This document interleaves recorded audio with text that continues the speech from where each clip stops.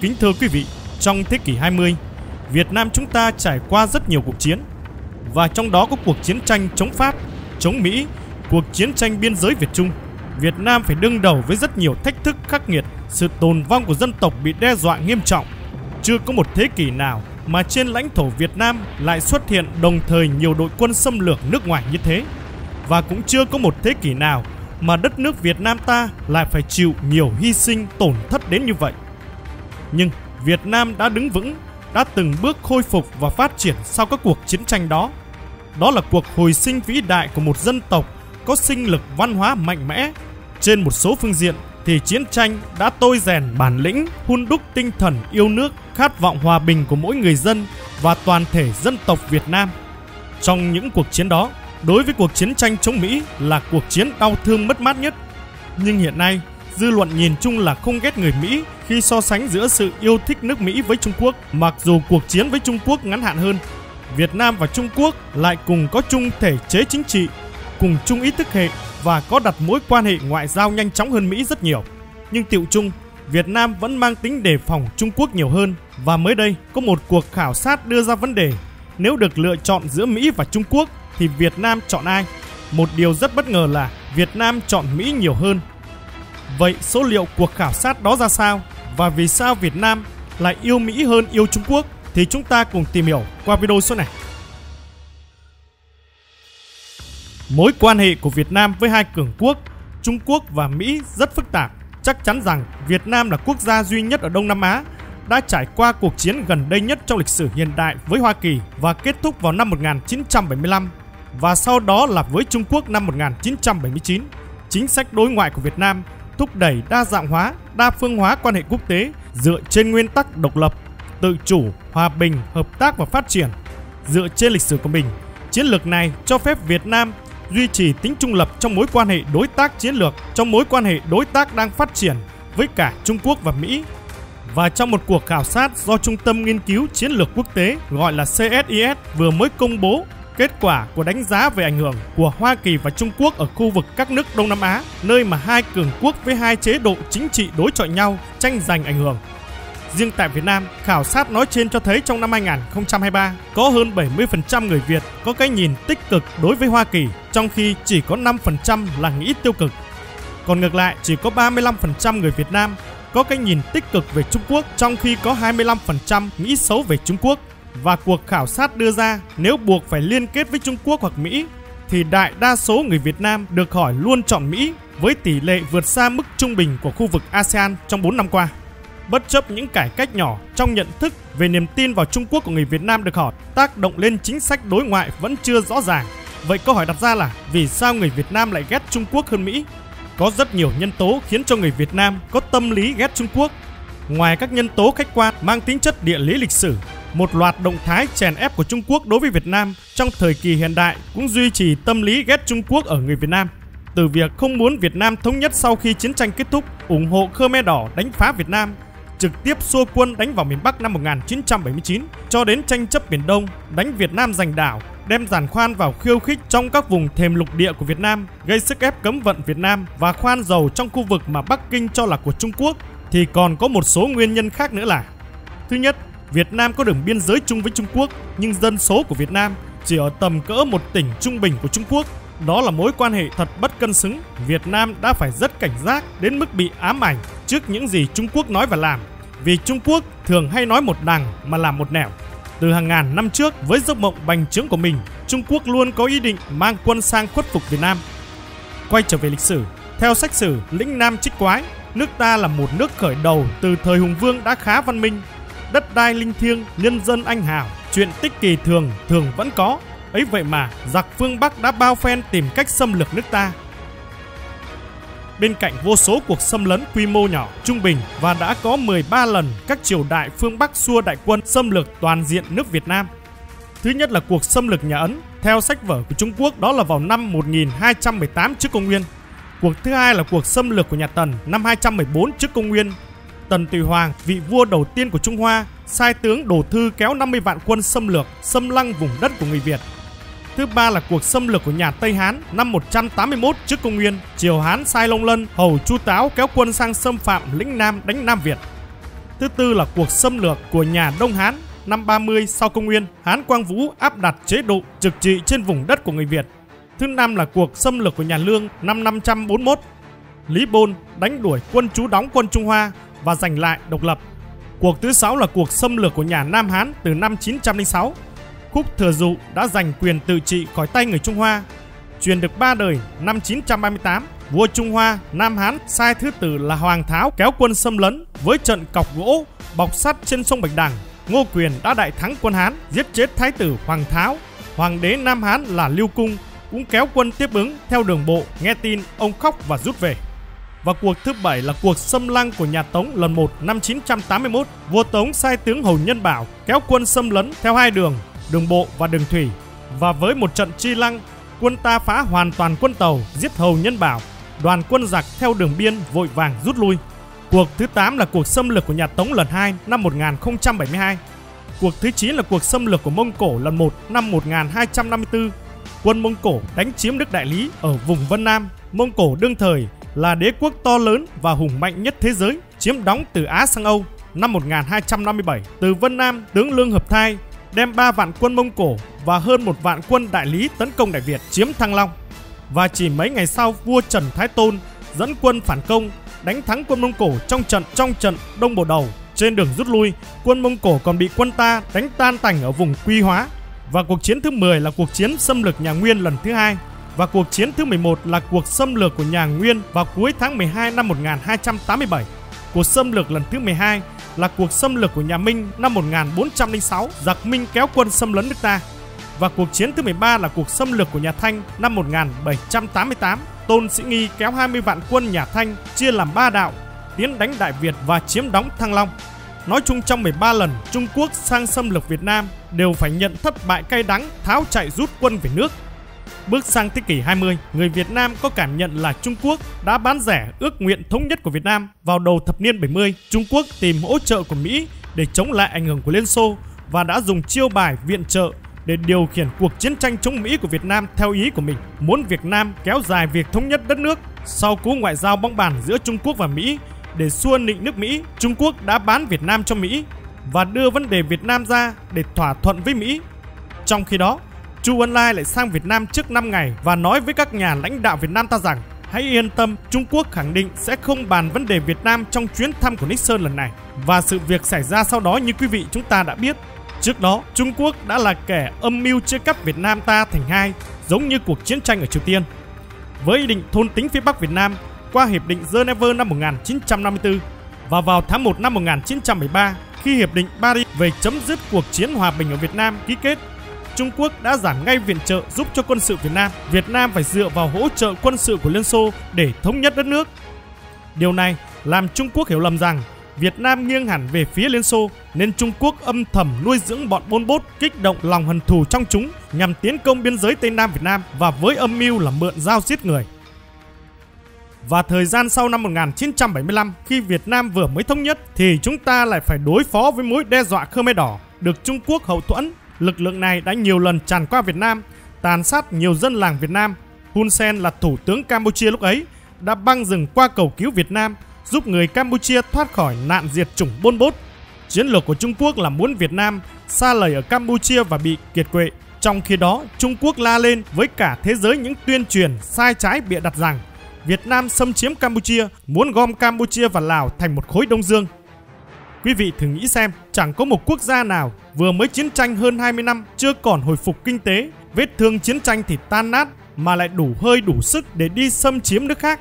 Và với những luận điệu của người Trung Quốc đã khiến cho các quốc gia trên thế giới quay lưng lại với Việt Nam và cấm vận Việt Nam, khiến Việt Nam từ nền kinh tế đang hồi phục sau chiến tranh bị bóp nghẹt. Lúc này, người Anh cả Liên Xô ra tay giúp trợ Việt Nam, ký kết một bản hiệp ước hữu nghị Việt Xô vào tháng 11 năm 1978 có lẽ là Trung Quốc rất cay cú vì thực hiện mưu đồ biên giới Tây Nam không thành, mà càng lúc Việt Nam càng có vẻ thân Liên Xô hơn nên đã thực hiện một cuộc chiến dịch trả đũa. Từ tháng Giêng đến tháng 3 năm 1979, Trung Quốc trả đũa bằng cách đưa quân đánh chiếm vùng phía Bắc của Việt Nam với lý do bình định vùng biên giới và dạy cho Việt Nam một bài học, nhưng lại lưu loa với thế giới rằng đây là một cuộc phản kích tự vệ trong khi bản thân Trung Quốc mang quân biên giới sang Việt Nam xâm lược và chẳng có cuộc phản kích tự vệ nào mà lại mang quân sang nước khác như vậy cả. Sau khi đánh tan đội quân sát nhân Bôn Bốt, tình hình chính quyền mới Campuchia mới dựng lên đang còn rất non trẻ. Trong khi đó, quân Bôn Bốt chạy giạt qua biên giới Thái Lan và được Thái Lan bảo kê. Trung Quốc và Mỹ vẫn hỗ trợ cho chúng gây rối dọc biên giới Thái Lan và Campuchia. Thủ tướng Hun Sen lúc bấy giờ mới xin Việt Nam ở lại ổn định tình hình, xây dựng lực lượng, đào tạo giúp chính quyền non trẻ và phòng ngừa lũ bôn bốt lưu vong quay lại tái thiết một cuộc chiến tranh. Việt Nam đã nhận lời và cho quân tình nguyện ở lại Campuchia 10 năm, giúp cho Campuchia xây dựng lực lượng quân đội và bộ máy chính quyền lớn mạnh. Như vậy, thời kỳ đó sự giúp đỡ cao cả của quân đội nhân dân Việt Nam đã được người dân Campuchia công nhận và gọi với cái tên gọi vô cùng thân thương, đó là đội quân nhà Phật. Ấy vậy nhưng Trung Quốc đã xuyên tạc, dắt mũi dư luận rằng 10 năm Việt Nam giúp đỡ Campuchia là đang chiếm đóng, xâm lược Campuchia. Sau khi chính quyền non trẻ đã đủ sức tự lập, quân đội tình nguyện Việt Nam bàn giao Liên Hợp Quốc và rút quân về nước. Quan hệ Việt Nam-Trung Quốc được bình thường hóa vào tháng 11 năm 1991. Một năm sau đó, Trung Quốc thông qua đạo luật tuyên bố chủ quyền Biển Đông bao gồm các quần đảo Hoàng Sa và Trường Sa. Trong bối cảnh là Trung Quốc đã có kế hoạch từ trước tấn công vào lực lượng của Việt Nam Cộng Hòa ở Hoàng Sa để chiếm toàn bộ quần đảo này vào tháng 1 năm 1974 và sau đó lại tấn công vào quân đội nước Việt Nam xã hội chủ nghĩa ở bãi đá Gạc Ma vào tháng 3 năm 1988.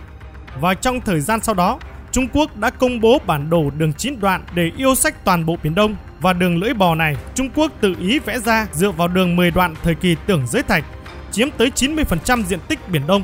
Đường đứt đoạn được vẽ sát vào các bờ biển của các quốc gia ven Biển Đông như Việt Nam, Indonesia, Malaysia, Brunei, Philippines.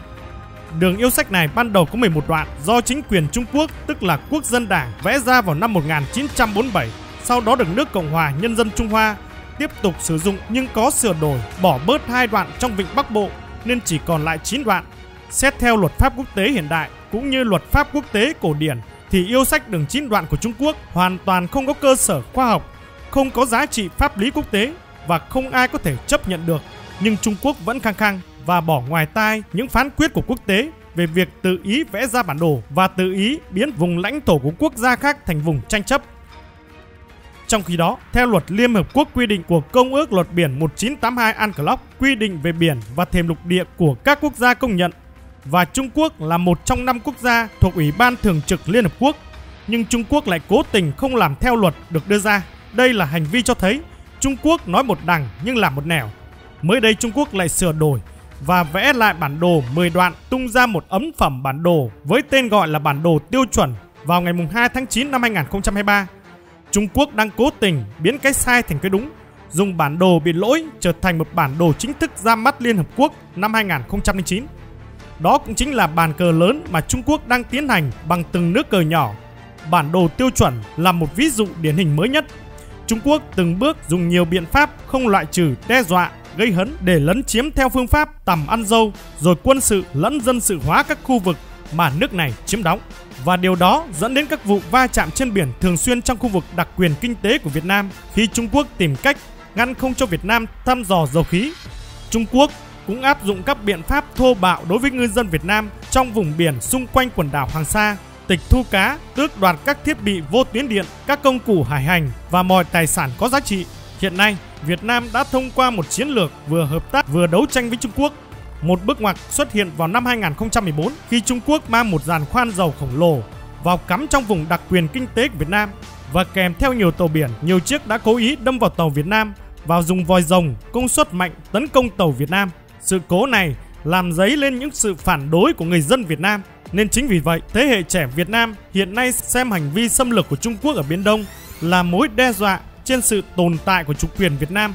Việc Trung Quốc xây dựng và quân sự hóa nhiều hòn đảo trên hai quần đảo Hoàng Sa và Trường Sa gần các thực thể do Việt Nam kiểm soát được xem là bằng chứng về mối đe dọa này. Thứ hai, người Trung Quốc chưa hiểu tình hình Việt Nam. Đây cũng có thể là một nguyên nhân khiến người Việt Nam ghét người Trung Quốc.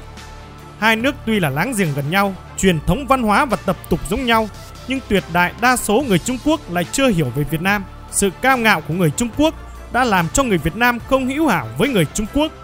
Cũng rất nhiều người dân Việt Nam chúng ta thì cho rằng thực lực Trung Quốc mạnh hơn Việt Nam và phần lớn người Trung Quốc khi đến Việt Nam thì có thái độ thiếu thân mật và khiêm tốn với người Việt Nam. Có nhiều người Trung Quốc thì hay hỏi rằng Việt Nam chẳng phải là rất nghèo đấy ư? Có phải là ở Việt Nam đi mua hàng, phải vác cả bọc tiền to tướng và có phải là Việt Nam thừa phụ nữ, có thể lấy mấy vợ cũng được phải không? Và điều thứ ba là nhà đầu tư Trung Quốc đến Việt Nam rất bị nghi ngờ về chữ tín cuối thập niên 90. Rất nhiều người Trung Quốc đến Việt Nam đầu tư khi phát hiện đầu tư trên toàn thế giới đều có cùng một nguyên tắc là không có đầu tư vào thì không có sản phẩm ra, kiếm tiền đâu có dễ như tưởng tượng.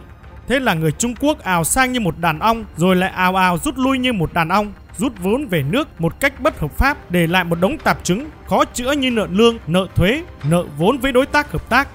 Nói chung sự thành thật giữ chữ tín của thương nhân Trung Quốc phổ biến bị người Việt Nam nghi ngờ. Và trong thời gian trước đây, những thương lái Trung Quốc còn hay dở trò nhằm triệt hại đời sống của Việt Nam, mua những thứ vô tác dụng đối với Việt Nam, khiến một phần nhỏ nông dân chưa hiểu biết những chiêu trò của Trung Quốc tự triệt đường sống của chính mình. Lâu dần, người dân ta hiểu được mánh khóe của người Trung Quốc, thì các thương lái Trung Quốc lại dùng người Việt Nam để hại người Việt. Ví dụ như việc Trung Quốc xúi người Việt Nam trộn bột đá vào chè khô cho nặng, hoặc Trung Quốc đẩy giá thị trường như mỡ lợn cao lên. Sau khi thương lái Việt Nam thu gom được nhiều, rồi thì thương lái Trung Quốc lặn mất hút một thời gian sau, khi sản phẩm nhiều không thể bán được, giá thành giảm rẻ như cho, thương lái Trung Quốc lại quay lại gom mua với giá rẻ mạt. Và tiếp theo đó là các thương lái Trung Quốc phán đoán sai lầm về thị trường tiêu dùng của Việt Nam đã không những làm cho sản phẩm Trung Quốc khó tiêu thụ ở Việt Nam mà cũng tổn hại nghiêm trọng tới hình ảnh và thanh danh của người Trung Quốc do hiểu lệch lạc về tình hình, nội bộ và thói quen tiêu dùng của Việt Nam, cho rằng người Việt Nam không tiêu dùng nổi những sản phẩm chất lượng tốt cấp cao mà người Trung Quốc chuyển sang Việt Nam những dây chuyền sản xuất lạc hậu. Kết quả như thế nào thì chúng ta tự suy ra sẽ thấy. Ở Trung Quốc, nhà sản xuất xe máy Trùng Khánh, Hênh Hoang là đã chiếm được rất nhiều thị phần thị trường của Việt Nam. Đáng tiếc là ở Việt Nam cho tới nay chưa hề phát hiện thấy một chiếc xe máy Trùng Khánh nào chạy trên đất nước Việt Nam chúng ta. Dù ở vùng nông thôn, tương đối nghèo hay đô thị phồn hoa đều khó mà thấy bóng dáng của những chiếc xe này. Ngoài ra, khi được hỏi về lý do khiến họ không tin vào người Trung Quốc phần lớn người Việt Nam được hỏi thì đều trả lời thấy mối lo ngại của họ về sức mạnh kinh tế và quân sự của Trung Quốc có thể được sử dụng để đe dọa sự toàn vẹn và chủ quyền của đất nước Việt Nam. Tầm quan trọng kinh tế của Trung Quốc đối với Việt Nam là điều không thể nghi ngờ. Đây là đối tác thương mại lớn nhất của Việt Nam và là thị trường đầu tiên đạt kim ngạch thương mại 100 tỷ USD vào năm 2018. Năm 2022, thương mại song phương giữa hai nước đạt lên 234,9 tỷ USD đưa Việt Nam trở thành đối tác thương mại lớn thứ 6 của Trung Quốc trên toàn cầu và là nước đứng đầu trong các số nước ở ASEAN. Trung Quốc cũng liên tục được xếp hạng là một trong những nhà đầu tư hàng đầu của Việt Nam với số vốn đăng ký lên tới 2,46 tỷ USD vào năm 2020, 2,92 tỷ USD vào năm 2021 và 2,5 tỷ USD vào năm 2022. Đầu tư trải rộng trên nhiều lĩnh vực, từ sản xuất đến phát triển nguồn nhân lực cho đến con đường tơ lụa. Tuy nhiên, các dự án cơ sở hạ tầng của Trung Quốc làm nhưng lại không đến nơi đến chốn khiến Việt Nam nợ càng thêm nợ. Ví dụ như tuyến tàu điện Cát Linh Hà Đông, dự án được khởi công từ tháng 10 năm 2011 và có tiến độ hoàn thành vào tháng 6 năm 2015. Và dự án này đã trải qua hơn 10 năm thi công với 12 lần lỡ hẹn. Mức đầu tư phê duyệt ban đầu là 8.769 tỷ đồng Việt Nam, tương đương với 552 triệu USD. Sau này điều chỉnh tăng lên 18.000 tỷ Việt Nam đồng tương đương với 868 triệu USD, tức là dự án này đã đội giá lên 57%. Như vậy, có thể nói Trung Quốc và Việt Nam núi liền núi, sông liền sông, có hơn 2.000 năm tiếp xúc văn hóa. Thế nhưng, sự hiểu biết của họ về Việt Nam lại dừng ở hồi ức trong quá khứ, thiếu con mắt tỉnh táo và thận trọng để nhìn nhận, khiến cho nhân dân hai nước hình thành một vết thương khó và có thể vượt qua. Đồng thời, với việc mất niềm tin của dân chúng Việt Nam, Trung Quốc dần dần nhường cho Nhật Bản, Hàn Quốc lợi ích thị trường to lớn ở Việt Nam mà người Trung Quốc vốn dĩ nắm được. Người Việt Nam không hữu hảo với người Trung Quốc tuyệt nhiên không chỉ là do cuộc chiến tranh hơn 30 năm trước mà còn rất nhiều cái nữa đáng để tất cả người Trung Quốc suy ngẫm. Nhưng ngược lại với người Mỹ, dù cuộc xâm lược trải qua 21 năm, bao nhiêu đau thương mất mát, Việt Nam đã rất căm thù kẻ xâm lăng, nhưng Việt Nam vẫn có cái nhìn tích cực hơn so với Trung Quốc bởi vì vị trí địa lý Việt Nam cách xa Mỹ không phải là một nước láng giềng của Mỹ Chính vì vậy, Việt Nam và Mỹ cũng khó có những xung đột lợi ích. Với văn hóa khoan dung và hòa giải của người Việt Nam, người Việt Nam chúng ta đã từ lâu được biết đến là một dân tộc khoan dung và hòa giải. người Việt luôn hướng tới sự hòa bình và mong muốn xây dựng một mối quan hệ tốt đẹp với các quốc gia khác và trong đó tất nhiên là có cả Mỹ. Sau khi chiến tranh kết thúc, quan hệ giữa Việt Nam và Mỹ đã có bước phát triển tích cực. Hai nước đã thiết lập quan hệ ngoại giao, hợp tác trên nhiều lĩnh vực, từ kinh tế, văn hóa đến giáo dục, đào tạo. Điều này đã góp phần làm cho Việt Nam có cái nhìn thiện cảm hơn về Mỹ. Một số ví dụ cụ thể về sự khoan dung và hòa giải của Việt Nam đối với Mỹ đó là năm 1995, Việt Nam và Mỹ đã thiết lập quan hệ ngoại giao chấm dứt 20 năm chia rẽ. Năm 2000, Tổng thống Bill Clinton đã trở thành Tổng thống Mỹ đầu tiên thăm Việt Nam kể từ sau khi kết thúc chiến tranh. Năm 2013, Tổng thống Obama đã trở thành Tổng thống Mỹ thứ hai sang thăm Việt Nam.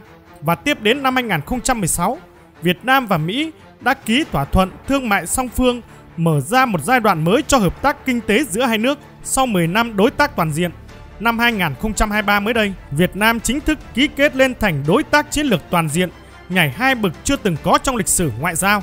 Sự gia tăng theo cấp số nhân về tầm quan trọng chiến lược của mối quan hệ song phương Mỹ-Việt được nhấn mạnh bởi sự hợp tác ngày càng sâu sắc trong các lĩnh vực thương mại, an ninh hàng hải, tội phạm xuyên quốc gia, biến đổi khí hậu, chuyển đổi năng lượng sạch, y tế giáo dục cũng như tăng cường quan hệ khu vực kết nối với khả năng phục hồi ở sông Mekong. Việt Nam ngày càng được Washington coi là một thành viên quan trọng của ASEAN. Việt Nam được mệnh danh là đối tác cùng chí hướng trong chiến lược Ấn Độ Dương-Thái Bình Dương của Mỹ và là thành viên của khuôn khổ kinh tế Ấn Độ Dương-Thái Bình Dương vì thịnh vượng.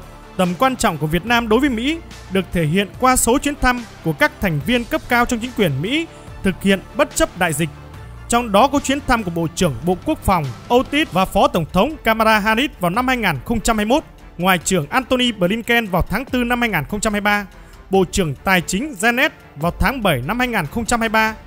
Việt Nam đã ký hiệp định thương mại và đầu tư với Hoa Kỳ năm 2007 và từ đó trở thành quốc gia thứ 10 của Hoa Kỳ. Thương mại song phương có sự gia tăng đáng chú ý, đạt 139 tỷ USD vào năm ngoái, gấp 300 lần so với thời điểm bình thường hóa quan hệ ngoại giao năm 1995 và chuyến thăm Hà Nội của Bộ trưởng Tài chính Hoa Kỳ bà Janet vào tháng 7 năm 2023 càng nhấn mạnh Việt Nam là một người đóng vai trò quan trọng trong chuỗi cung ứng chất bán dẫn toàn cầu với sự ủng hộ của Hoa Kỳ đối với khả năng phục hồi kinh tế và thương mại trong thế giới hậu Covid. Bà Janet cũng gọi Việt Nam là đối tác quan trọng trong việc thúc đẩy một khu vực Ấn Độ Dương-Thái Bình Dương tự do và rộng mở, từ đó mang lại sức ảnh hưởng chiến lược của Hà Nội vào ngày 10 tháng 9 năm 2023. Chuyến thăm của ông Biden đến Việt Nam đã nâng cấp Việt Nam-Mỹ lên thành đối tác chiến lược toàn diện với nhiều thỏa thuận hợp tác giữa hai nước và điều đặc biệt này được sự tán thành của toàn bộ người dân Việt Nam. Tất nhiên, vẫn không ít người Việt Nam vẫn còn giữ những cảm xúc tiêu cực đối với Mỹ. Tuy nhiên, nhìn chung người Việt Nam vẫn hướng tới sự hòa bình và mong muốn xây dựng mối quan hệ tốt đẹp với Mỹ. Nhưng nói như vậy, không phải là Việt Nam sẽ thân Mỹ hơn Trung Quốc. Việt Nam sẽ không nghiêng về với ai hết, ai cũng chơi, chứ nhất quyết không thân hay có ý định làm đồng minh với ai như sách trắng quốc phòng của nước Cộng hòa sau chủ nghĩa Việt Nam nêu rõ. Việt Nam không theo nước nào, không chống quốc gia nào và không cho bất cứ quốc gia nào đặt căn cứ quân sự trên lãnh thổ Việt Nam. Việt Nam ủng hộ một nước Trung Quốc thống nhất, không công nhận Đài Loan nhưng vẫn mở cửa cho Đài Loan vào làm ăn, ủng hộ nhân dân Palestine nhưng có mối quan hệ quốc phòng cấp chiến lược và mua hàng nóng của Israel hay là viện trợ cho Triều Tiên nhưng vẫn chơi với Hàn Quốc ca ngợi quan hệ tốt đẹp toàn diện với Mỹ nhưng sẵn sàng đứng trước Liên Hợp Quốc kêu gọi các nước đoàn kết chống lại nghị quyết trừng phạt Cuba của Mỹ dù có là đối tác chiến lược toàn diện. Thử hỏi xem có được bao nhiêu nước dám đứng lên như Việt Nam tuyên bố trước Liên Hợp Quốc chống lại nghị quyết của Mỹ. Để làm được điều đó, không sứt mẻ tình cảm anh em, không mất đi tình bằng hữu nghị quốc tế. Chính vì vậy, tính độc lập tự cường của Việt Nam được thể hiện rõ trong quan điểm nhất quán của nhà nước ta và chính phủ cũng như sự chỉ đạo và tài ngoại giao của các nhà lãnh đạo Việt Nam. Như Trung tướng Nguyễn Quốc Thước từng nhận định, nếu chúng ta để người Trung Quốc tin rằng Việt Nam theo Mỹ, theo Nhật để bao vây kiềm chế Trung Quốc như một số học giả của họ vẫn tuyên truyền, thì đừng nói Trường Sa của ta khó giữ, mà nguy cơ những ngón đòn tấn công có thể đổ ngay lên đầu chúng ta bất cứ lúc nào từ biên giới phía Bắc. Một khi để rơi vào thế đối đầu, Trung Quốc có nhiều con bài để chơi, dù bên nào thắng thì cả hai bên cũng sứt đầu mẻ chán. Với Hoa Kỳ, nếu chúng ta không cho họ thấy rõ thiện trí hợp tác bảo vệ hòa bình và luật pháp, công lý quốc tế mà một số quan điểm trong giới chính trị Hoa Kỳ vẫn nghĩ Việt Nam lệ thuộc Trung Quốc thì khó có thể tận dụng được vị thế quan điểm lập trường và sự ủng hộ Hoa Kỳ ở Biển Đông. Việt Nam ta còn yếu về kinh tế, còn yếu về thực lực nhưng lại nằm trong trung tâm mặt trận cạnh tranh địa chiến lược, địa chính trị gai gắt giữa hai siêu cường ở Thái Bình Dương là Hoa Kỳ và Trung Quốc. Nếu ứng xử không khôn khéo thì chúng ta sẽ tự đẩy mình vào bi kịch. Một số người lý luận trên rằng Trung Quốc gây hấn với ta, ta thân Mỹ để chống Trung Quốc. Xin đánh giá nhãn quan chính trị của những người này là cực kỳ kém cỏi. Một bên là hổ, một bên là beo, nhảy về phía nào cũng không toàn mạng. Một ý nghĩ ngu xuẩn của một số thành phần muốn đuổi hổ cửa trước, rước beo cửa sau, thân Mỹ để chống Trung Quốc ư. Lợi ích được bao nhiêu mà đòi Mỹ đánh đổi lợi ích của nước họ chỉ vì nước mình. Với tư bản chủ nghĩa, không có cái niệm cho không, họ chỉ xem lợi ích của họ là vĩnh cửu. Và có những ý kiến thì bình luận, một nước như Trung Quốc với một tỷ tư dân, nền kinh tế nhất nhì thế giới, nên chúng ta phải lợi dụng vào nó mà kiếm tiền. Và có những ý kiến khác thì và mạnh tầm cỡ như Nga, Mỹ, NATO còn phải dè chừng Trung Quốc, nghĩ sao mà đòi chống Trung Quốc để theo Mỹ và có tin nó đóng cửa toàn bộ cửa khẩu. Vài tháng sau nông sản trong nước sẽ sống dở chết dở không? Một số người ghét Trung Quốc một cách mù quáng để chi phối tất cả mọi hành động và suy nghĩ là cực kỳ nguy hiểm. Đó là điều không hề tốt. Kính thưa quý vị, với việc người dân Việt Nam có cái nhìn thiện cảm về Mỹ hơn là Trung Quốc, nó không phải là phản ánh đúng về chính sách đối ngoại của Việt Nam. Hiện nay, cả Mỹ và Trung Quốc đều là những mối quan hệ cao cấp nhất đối với Việt Nam. Nó giống như một điều mà Việt Nam chúng ta gửi đến thế giới rằng Việt Nam chúng tôi yêu chuộng hòa bình, làm bạn được tất cả với các quốc gia trên thế giới. Việt Nam chúng tôi sợ chiến tranh nhưng chưa bao giờ sợ kẻ xâm lược và chỉ mong mối quan hệ Việt Nam với Mỹ, Việt Nam với Trung Quốc hiện nay ngày càng được phát triển mạnh mẽ hơn để đất nước Việt Nam sẽ sánh ngang cùng với các cường quốc trên thế giới. Và với Việt Nam hiện nay, chưa bao giờ một câu nói này đúng hơn trong lúc này, đó là trên thế giới này không có đồng minh vĩnh viễn hay kẻ thù vĩnh viễn, chỉ có lợi ích quốc gia mới là vĩnh viễn và thiết nghĩ rằng lối ngoại giao cây tre của Việt Nam chúng ta đang được tất cả những người con máu đỏ da vàng hiện nay ủng hộ. Chỉ có những kẻ chống phá nhà nước là họ không ủng hộ mà thôi. Còn quý vị nghĩ sao về video số này? Xin để lại dưới bình luận. Nhớ đăng ký kênh, ghé qua kênh mỗi ngày. Còn bây giờ xin kính chào và hẹn gặp lại.